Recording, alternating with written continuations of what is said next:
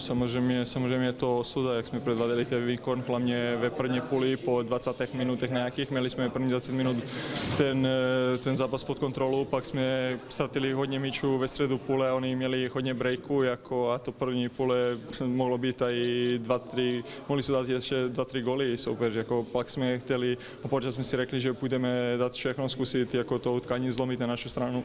Dneska nám se to nepovedlo, prostě musíme, musíme dávat goly. My z dvou utkání ne, nedali jsme ani jeden gol, gol prostě nemůžeš vyhrát zápas. Tak. Eh, Vypadá to, že zatím vždycky, když dostaneme gol, tak jsme hodně opaření, jak v tom zápase v Plzni, tak, eh, tak tady to bylo hodně znát. Eh, O čem to svědčí? Já nevím, prostě dostáváme takový, takový laciný goly, to je, to je, nevím, mají smula nějaká na, na naší straně, prostě já nevím, jak to trefil, to tečoval tu strelu a je, je to, nevím, je to, je to smula, no, hrozně, hrozně. Eh, Jak moc chyběl dneska Niko Stanču? No, Niko je nadstandardní hráč, jeden z našich důležitějších hráčů, ale myslím, že jsme to utkání jednoznačně museli zlomit, ale a i bez něho. Bavili jsme se hodněkrát o tom, že tohle je důležitý období, hodně zápasů venku za sebou, důležitý je vyhrát, tak dva z nich se prohráli.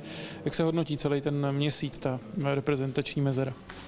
No, myslím, že, myslím, že máme štěstí, že, že teď máme tu repre pauzu, prostě musíme se dát dokopy a uklidnit si hlavy a začat, začat víc pracovat, a, protože my kvalitu máme určitě jenom, jenom začat hrát ten fotbal, co umíme prostě.